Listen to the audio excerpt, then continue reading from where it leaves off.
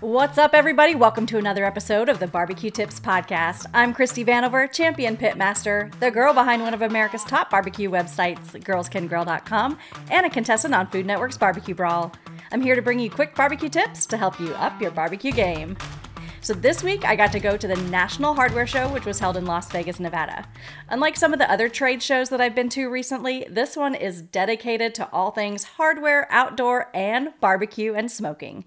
So I'm going to touch on a few of the barbecues and grills and other outdoor cooking appliances that I saw this week. As a quick reminder, I wanted to let you know that not only can you listen to this podcast, but you can watch it also on YouTube or Embers TV. Be sure to go over there if you want to see some of the visuals of the grills that I'm going to talk about today.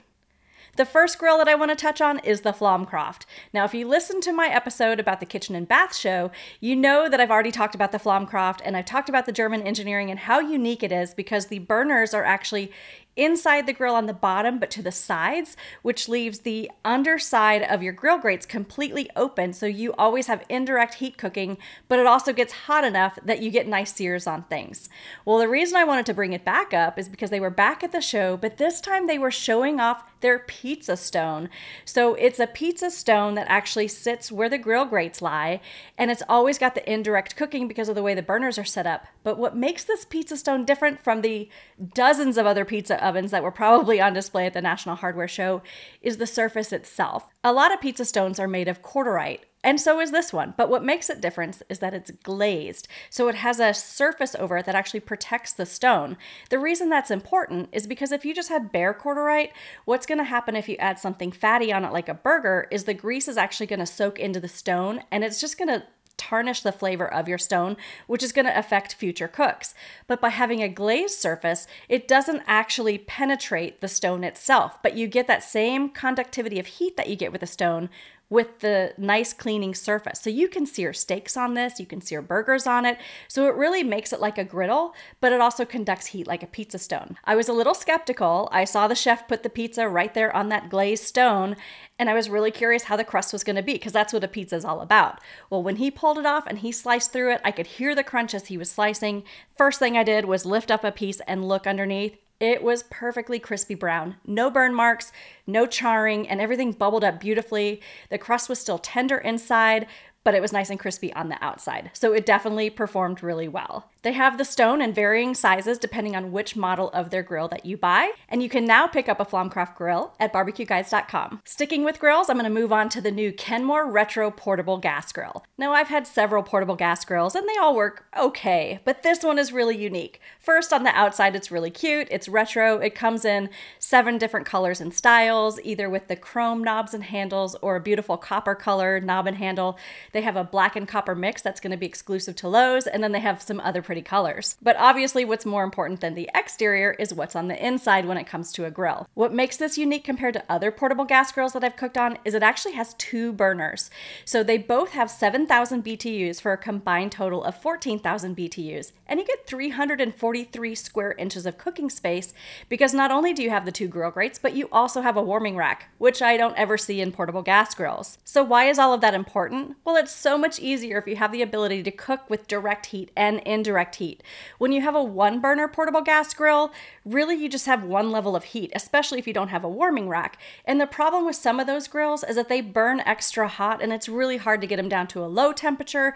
So it's hard to get even cooking sometimes on portable gas grills. Well, with the Kenmore, you can now turn one burner on and leave one burner off. So that gives you that indirect cooking zone. Plus, you have the warming rack so you can also raise things up there. It is portable, so the legs fold down and then you can clamp the lid to the base so that it stays tight. And then for the hose, there's a little hook that'll connect to the handle so you can just carry it around wherever you want to take it. As far as dimensions, it's about 15 inches tall when the legs are extended and it is 22 and a half inches wide and about 18 and a half inches deep. Some other features that I liked about the Kenmore is it's made of cast aluminum, so it feels really sturdy. It has a temperature gauge on top so you can monitor your grill temperatures, plus it has a grease tray in the bottom that pulls out for easy cleaning. The Kenmore is going to be available soon and it's 199 retail. Let's move on to cookers that are not in the traditional outdoor cooking space. So Cuisinart Outdoors unveiled their new outdoor wok. That's something that I never imagined would be in an outdoor space.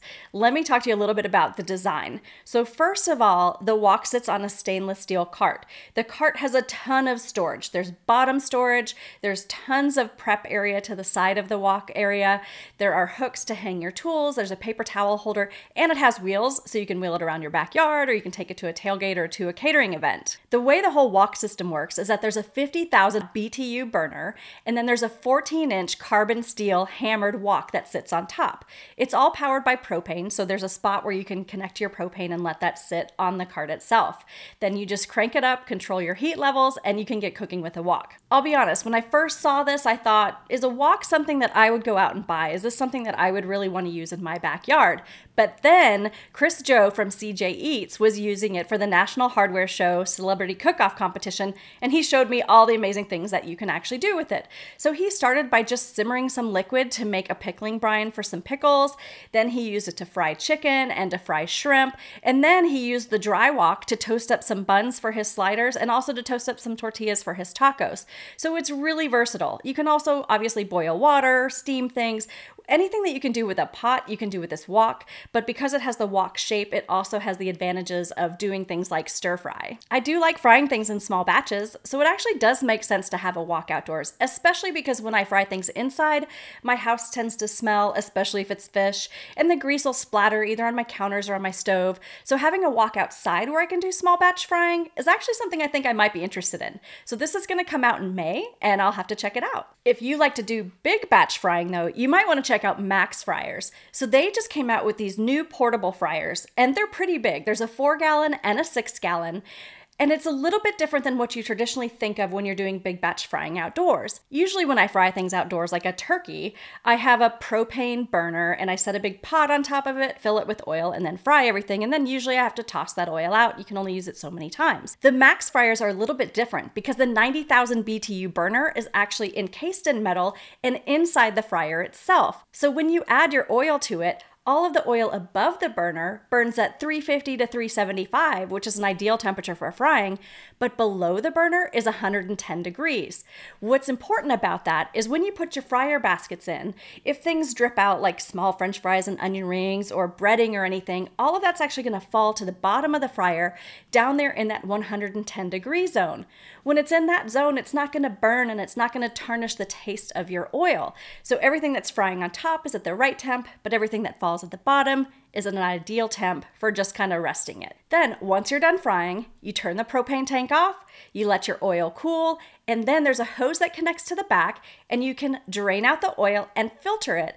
And Mack's Fryer says that you can reuse that oil up to 30 times. If you do that, they said that's an oil savings of $1,400 on their four gallon model and up to $2,000 on their six gallon model. The Mack's Fryers are available on their website now. I'll put the link in the show notes. They're priced at $377 to $446 for just the unit itself. You can also get an optional cart that you can set it on that has wheels, and that way you can take it on the go. In the smoker category, Bradley is launching a new smoker called the Raven Smoker.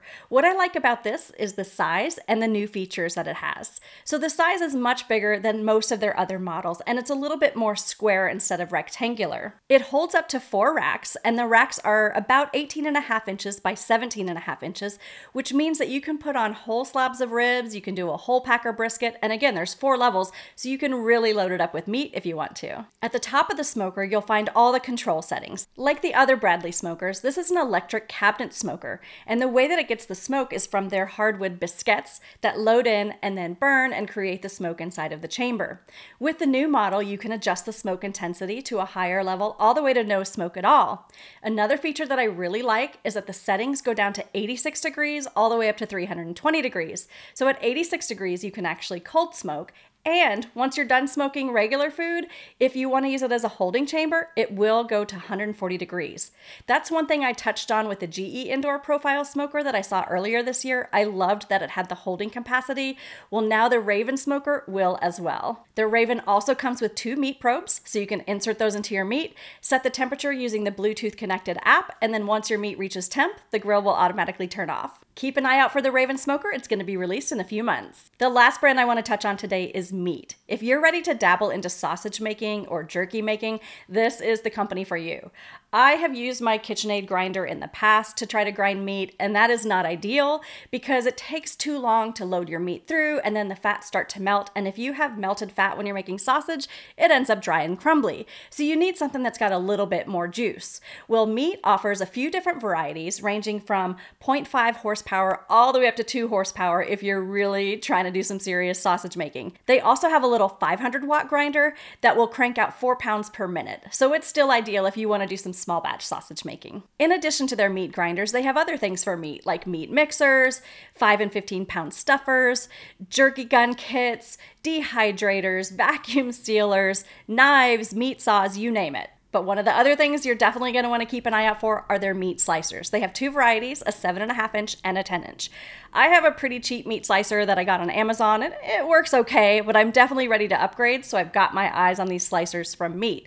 If you're interested in making thinly sliced meat for jerky, making homemade bacon, or even making homemade lunch meat, having a meat slicer is a definite must. Honestly, this year when people ask me what I want for Christmas, I'm just gonna send them to the meat website because anything off of there would make me happy. Well, those are my top finds from the 2024 National Hardware Show. I hope you guys are interested in some of those. Be sure to check the show notes for links to all the different products. As always, visit girlscangrill.com for thousands of barbecue tips and hundreds of recipes, and be sure to follow me at Girls Can Grill on all the socials. Until next time, guys, happy grilling.